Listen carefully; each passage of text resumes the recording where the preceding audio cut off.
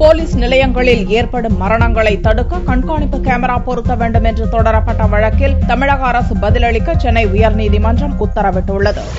மாற்றத்திற்கான இந்தியா என்ற அமைப்பு சார்பில் சென்னை உயர்நீதிமன்றத்தில் ஒரு பொதுநலன் வழக்கு தொடரப்பட்டது. தமிழகத்தில் உள்ள போலீஸ் நிலையங்களில் ஏற்படும் மரணங்களை தடுக்க கண்காணிப்பு கேமரா பொருத்த வேண்டும் என்று அம்மனுவில் கோரப்பட்டுள்ளது. கடந்த இரண்டாயிரத்து பதிமூன்றில் குஜராத் உயர்நீதிமன்றம் அளித்துள்ள உத்தரவில் போலீஸ் நிலையங்களில் கண்காணிப்பு கேமரா பொருத்த வேண்டும் என்பதை சுட்டிக்காட்டியும் மகாராஷ்டிராவில் உள்ள காவல் நிலையங்களில் ஏற்படும் மரணங்கள் குற்றத்தை தடுக்க கேமரா பொருத்த வேண்டும் என்று மும்பை நீதிமன்றம் உத்தரவிட்டுள்ளதையும் மனுவில் சுட்டிக்காட்டப்பட்டுள்ளது. தமிழகத்தில் கடந்த இரண்டாயிரத்து பதிமூன்றில் பதினைந்து காவல் நிலைய மரணங்களும் நடப்பாண்டு ஒன்பது மரணங்களும் ஏற்பட்டுள்ளதாக குறிப்பிடப்பட்டு ஆகையால் தமிழக போலீஸ் நிலையங்களில் கேமரா பொருத்த உத்தரவிட வேண்டும் என்றும் மனுவில் கூறப்பட்டுள்ளது. இம்மனு மீதான விசாரணை சென்னை உயர்நீதிமன்ற முதன்மை அமர்வு நீதிமன்ற நீதிபதி எஸ் கே கவுல் மற்றும் சத்யநாராயணா முன் விசாரணைக்கு வந்தது. வழக்கை விசாரித்த நீதிபதிகள் நான்கு வார காலத்திற்குள் அரசு பதிலளிக்க உத்தரவிட்டனர். தமிழகத்தில் உள்ள அனைத்து காவல் நிலையங்களில் உள்ள அனைத்து அறைகளிலும் லாக்அப் அறைகளிலும் முகப்பிலும்